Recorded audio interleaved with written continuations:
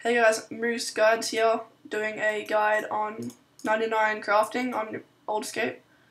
So what you're going to want to do is have your money in your inventory and buy a chisel, and then that's like, how much is that? Chisel is 14 GP, and then buy a full inventory of uncut opals, and you get like 64 crafting from that. And wait till they're all done.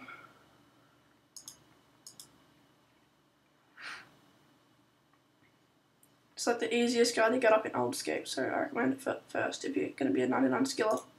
Alright, so they're all done, and now you sell them all so you can make like a profit at the end. And then you buy uncut, uncut sapphires and do all these until they all cut, and you get like 70 maybe, I think.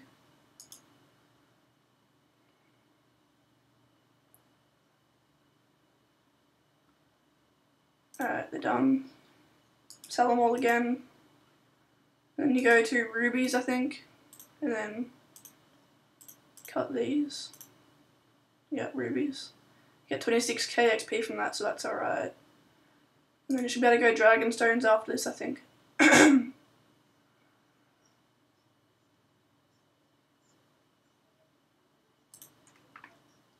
Sell these dragon stones. Wait and then cut the dragon stones. Yep, okay, then you get 43k XP, that's the highest you can get, I think, on Oldscape for, for the gems. And I think you get like a 4 mil profit once you finish 99 crafting.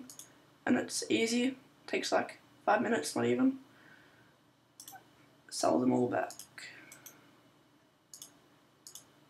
Um, hell. Uh, and keep on doing I think after another inventory after this should be 99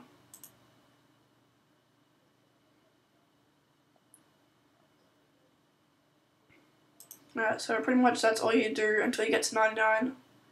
not going to keep on recording because pretty much that's all the basic. And a shout out to Mr. Android Gameplays. He's my friend. I need to go sub him because he makes some cool videos. See ya.